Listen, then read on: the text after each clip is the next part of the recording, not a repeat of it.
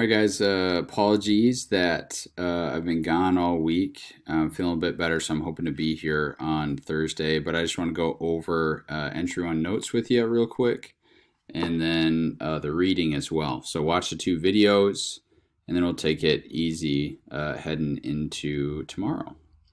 Okay, so uh, force is an action that changes a body's state of rest or motion. So anything that uh, make something go from rest to motion or motion to rest um, is a force. It has a magnitude and a direction. That means size and it points.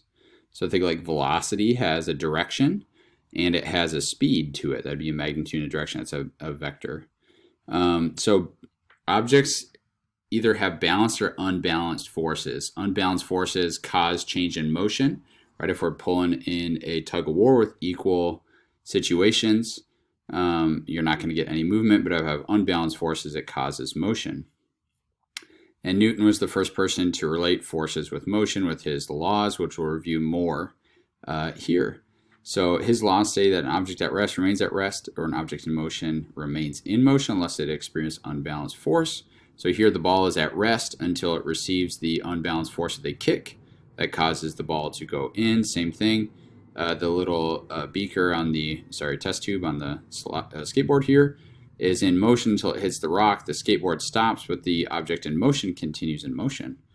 Um, force is equal to mass times acceleration. So when I apply a force, I move a mass with a certain acceleration. In his third law, every action, there's an equal and opposite reaction, right? So the, this uh, comes out with a certain amount of force from the uh, extinguisher and pushes them on the chairs.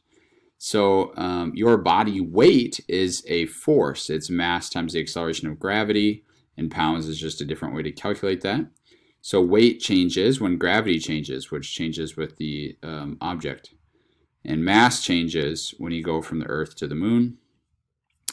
Um, and that's that's it. Okay, so then you're going to do the uh, homework, which is this folder as well. So you put the definition in your words in a drawing with two or more colors, and you should upload that as well. All right, thanks. Now move on to the second video with the reading.